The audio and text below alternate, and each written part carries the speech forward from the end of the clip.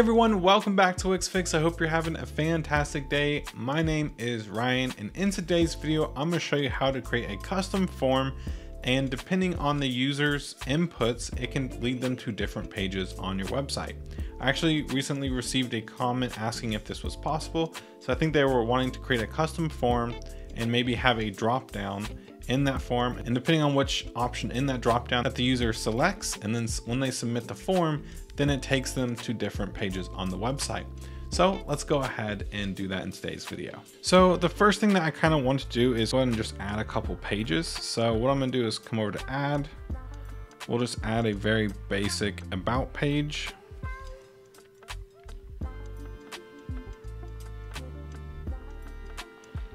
And we'll call this one page one. And we'll also just go ahead and change this text here to another color just so it's very obvious that it's working correctly. And now what I want to do is add another page. We'll just make this one a services.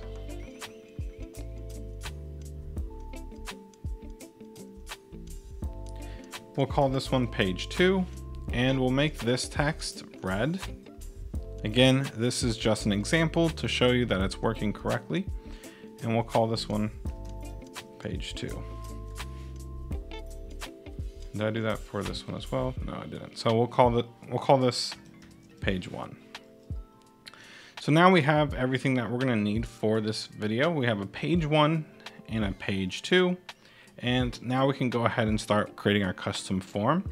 Now for today's video, it does require a little bit of code but I will say it's not that complicated. And as usual, I will provide the code on our website. So there will be a link in the description if you want to just check it out and maybe even copy and paste it onto your own website. But if you do copy and paste it on your website, I highly suggest you check out the rest of this video to learn how this code works so you can apply it correctly on your own site. But to enable the coding section of our site, we need to come over to dev mode and turn this on.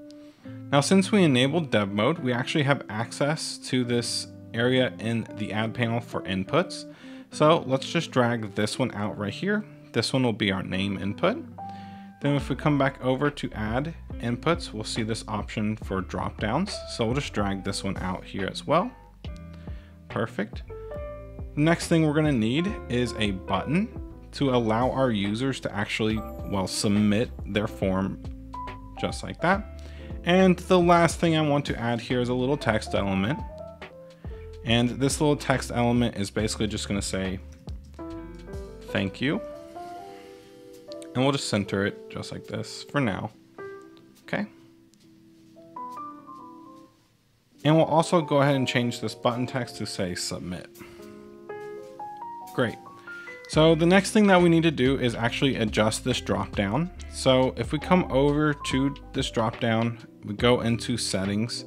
We want to change this placeholder text to maybe something like choose a page. Perfect. And now we need to actually manage the choices. So in this video, we only have, we only created two extra pages. So we only need two options here. So what we're gonna do is edit the label. We're gonna say page one. I'm gonna copy it so that way I can come into this little three dots and say edit value. And the value is very important here.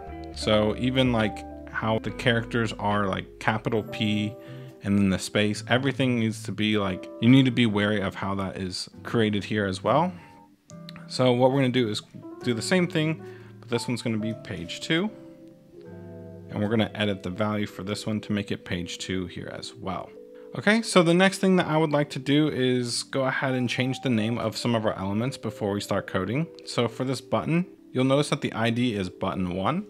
So instead, I want to change it to submit button. And then for this text right here, we can just call this one thanks text, just like that. And also with this thank you text, let's also default this value to hidden that way it doesn't actually appear when the user first lands on the page. But with all that said, we can go ahead and start coding. So what I want to do first is here on the very top, we need to import an API. And this one is going to be Wix location from Wix location. Perfect. And you'll notice it's grayed out and that's because we don't have any code in here basically calling that API yet. So once we start adding more code inside of here, you'll notice that that is no longer grayed out. But what I want to do now is create a constant. We'll call this one just btn for button. And all we want to do is basically call the submit button. Just like that. And now if we go down a little bit, we can go ahead and say when the button is clicked, so we're gonna say btn on click. We're gonna want something to happen. And inside of this little function, what I want to do is actually create another constant. We're gonna call this one drop down value. And this is going to equal the drop down one dot value. So if you remember over here, when we actually managed the choices and came over here and said edit value, that's what this little variable is getting. It's getting the value from our drop down right here. So what we're gonna want to do now is we're gonna say if drop down value is double equal to, and we're gonna say page one because with a capital P and a space and everything, because again, if we come over to manage choices and look at the value, that's how it is spelled here. So I'm gonna say if it's equal to that value, then we want to go to page one. So we're gonna say Wix location dot to, and we're gonna say page dash one oh, with a slash in the front. And basically what this is, is if we come over to our pages, go to page one and go to SEO, we'll notice that that is our URL slug. It is slash page dash one. And that's basically what I put in right here. But you'll notice that we also have a second option with a second page that we want to go to. So what we're going to say is else if, and we're to say drop down value is double equal to page two with a capital P, otherwise it won't work. Then we want Wix location to go to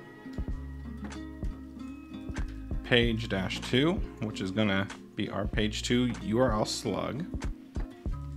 And then if they choose not to input anything into this dropdown, then we want else and we want the thank you text to show. So we'll say thanks text to show. Now in a minute, I will show you a way to make this a required field. But for now, this is all the text that you will need to use. So if we go ahead and press preview,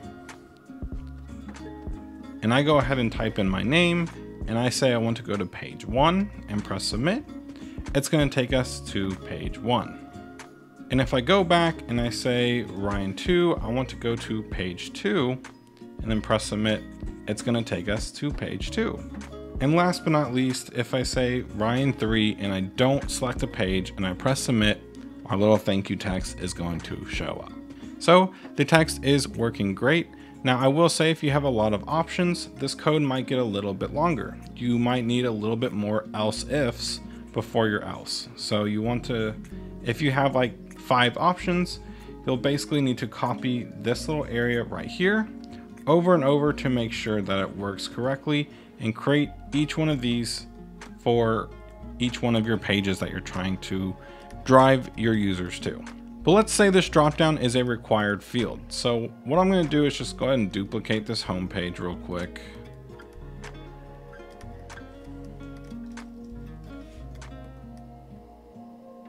And we're going to kind of adjust this a little bit. So what I want to do here first is actually select this submit button and we're going to come down to the default values and turn off this enabled or we want to uncheck this enabled option here. And now what I want to do is under this constant up here, let's create a new constant. We'll call this drop down. And this is going to equal just the drop down, just like that. And all we need to do is say drop down on change. We're gonna create a mini function here. And when that changes, then we can grab the button and we can enable it. Just like that. So now you'll notice that the button is grayed out.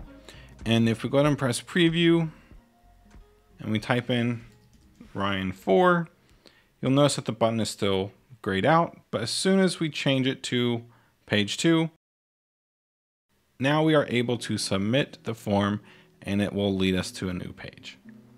But that's basically going to wrap it up for today's video. And again, if you want to use this code on your own website, there's going to be a link in the description to one of our blog posts with the code. So you can literally just copy and paste it and edit the code just a little bit to make it work for you. But if you like the video, please go ahead and give this video a like and subscribe to the channel for more Wix and EditorX content coming out really soon. Thank you all again, and I'll see you on the next one.